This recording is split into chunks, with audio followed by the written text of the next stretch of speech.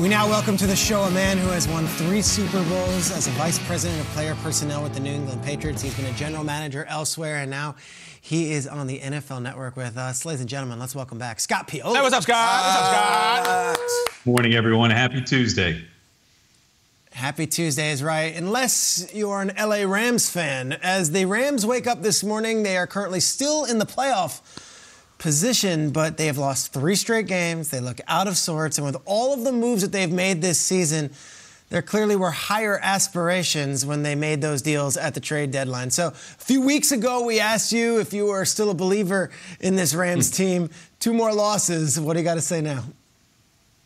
You know, Peter, you asked me right as they were making those changes to their roster. And I said at the time that the jury was out because I wasn't sure what they were going to be as they added those pieces. Since they've added those pieces, meaning OBJ and Von Miller, they're 0 and 3. And we've talked about this before, whereas you can add talent to your team, but your talent has to fit. This is a team game that matters on relationships and chemistry and people doing things together. So right now, they won so many games at the beginning, right? They were seven and one before they acquired these two players and lost the three straight. At seven and one, they're likely going to be a playoff team. They did enough at the beginning of the season. They have a somewhat friendly schedule coming up at the end run, so I do expect them to win, or you know, make the playoffs, possibly win the division. But to me, the bigger issue is I don't see them as a championship football team right now. I see them a team with a lot of star power names but not necessarily a championship football team. So I'm still not sold and all in on the Rams. Oh, how about a team in the NFC that has both, Scott? Let's talk about the Buccaneers. You've said this before. Hmm. It doesn't matter if you have Tom Brady. You can't just run the same team out there. You can't just run it back and expect to win a Super Bowl. You got to get better. You got to evolve. When you look at this Bucs team that just had a great win over the Colts, who is a player somewhere in their roster who has made huge hmm. improvements from last year and could be the difference in this year's team? Kyle, to me, it's Leonard Fournette, right? He's been playoff Lenny. Last year, he was playoff Lenny. He had a better playoff season than he did a regular season. His rookie year with the Jacksonville Jaguars, he was better in their playoff run up to the AFC Championship game than he was in the regular season. But this year, Leonard Fournette is coming along as a better player. He's in the top 15 in the NFL in terms of rushing, but most importantly, what he is, he's number three overall in terms of running backs and the number of receptions that he has. So he's, again, become a really important weapon for Tom Brady. And the importance of a running back in the Tom Brady passing game, in it, where it enables Tom to drop and dump things off, is critical.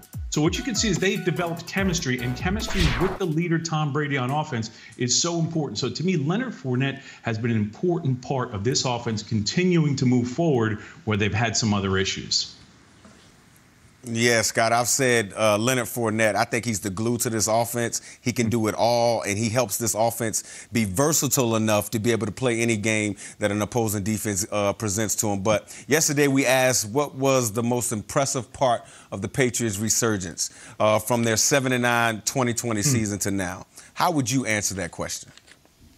Mike Rob, I would say that it's the way that this collection of players from the outside has come together as a team. Again, they brought in a lot of pieces and parts, very similar, a little bit different, but similar to what we did in 2001, where we signed a lot of free agents. They brought in a lot of very good players that really didn't have relationships with one another, didn't know one another. They weren't sure where the leadership was coming from. They knew it was going to be McCourty. They knew it was going to be Hightower. They weren't so sure if it was going to be Mac Jones. They knew it was going to be Andrews on the offensive line. These guys have come together you know, it was interesting. I was up there for several days in training camp this year and watched the team. I saw the talent. I saw the relationship. I saw the guys interacting, and I said to myself, oh, this might be something pretty interesting to watch if they can get on a roll this year. And they've done that. So to me, the collection of the players from the outside that have come together reminds me of a lot of teams that, again, are better as a sum than the individual parts, opposite of a team we were just talking about.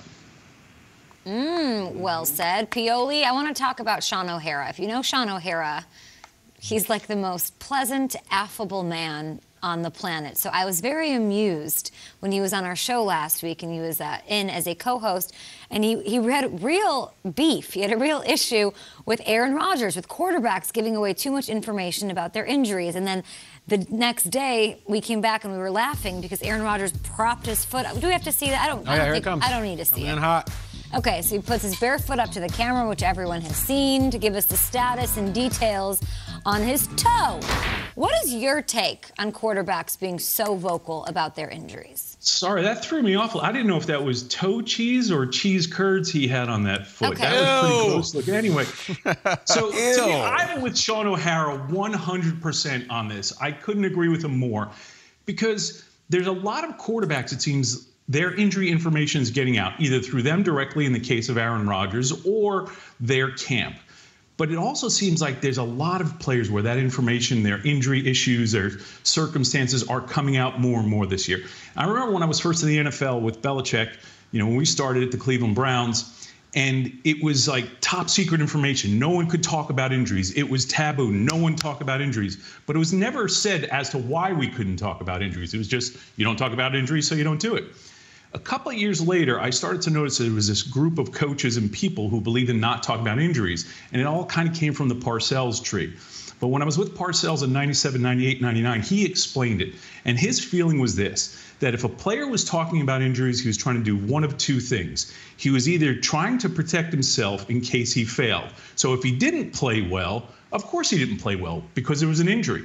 But if he played injured and he was successful, well, then he was some sort of superhero and he was bigger and better than the rest of the team and separating himself from the team. And it was something that Parcells really didn't like because it was about the individual trying to protect himself or elevate themselves. So I'm a big believer and come from that camp that injuries shouldn't be talked about because really it becomes about self more than the team. Yeah, it's true. All right, today is the 50th anniversary of the hmm. release of one of the greatest movies of all time, Brian's Song. Earlier in the show, we played We In or We Out. So let's ask you a question, Scott. Brian's Song is the greatest football hmm. movie ever made. We in or we out? I'm in. Are you kidding me? Brian's song. Yeah, 50 years ago today it was released. One of the greatest football films, or the greatest football film of all times. You got a little up here. Brian Piccolo, who unfortunately succumbed to cancer, was a teammate of Gale Sayers. They had this incredible relationship. It was in the late 60s, early 70s when race issues were at a, you know, a boiling point and they came together. And this story, this movie, eh, eh, you know, with James Caan, I, I don't care how many football movies come out. Brian Song is the best football movie of all time. James Caan, Billy Dee Williams oh. as the great Gale Sayers, one of the greatest films. 1971, Scott. Let's celebrate Brian's song today. Let's celebrate you as well. Great job on the show Wow, as Scott. always. Thanks, everybody. Have a great week.